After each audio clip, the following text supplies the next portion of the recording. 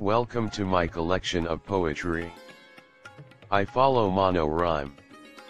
I named it Pari style of writing poetry where all ending words rhyme with one another. The name of my poem is Sanmati my inspiration. Sanmati, my messenger, is no more a milksop. Ardent though is she never will yawp. Nagging sometimes though in some shop.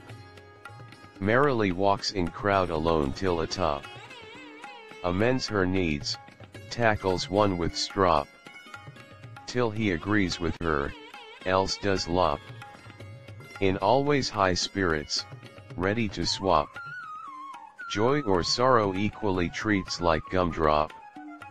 Angry if treats us like a bellhop. In our home or out, but never plop. Nor cry in public to show us flop.